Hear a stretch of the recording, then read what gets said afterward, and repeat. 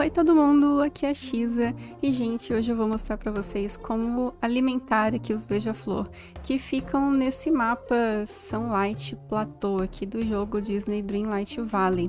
Bom, beija-flor ele gosta de comer flores, qualquer flor aqui de todos os mapas, mas as favoritas são essas aqui, Pink, Orange, House Leak, que ficam justamente aqui nesse mapa onde eles estão, então é bem fácil de pegar essas florzinhas. Beija-flor também não é difícil de, de alimentar porque ele não fica fugindo, é só você chegar perto dele e ele já vai permitir interagir.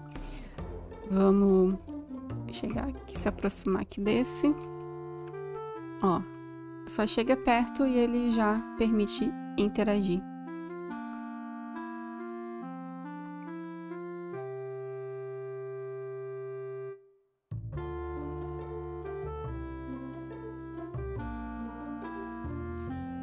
E é isso, gente. Super fácil, super rápido de alimentar aqui os beija-flores desse mapa.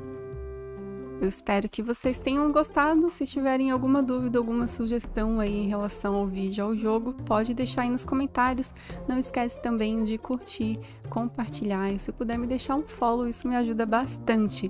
E se você for adquirir algum conteúdo do jogo ou de qualquer outro jogo através da Epic Games, coloca aí meu código XISA, porque isso também me ajuda muito. Muito obrigada e até a próxima!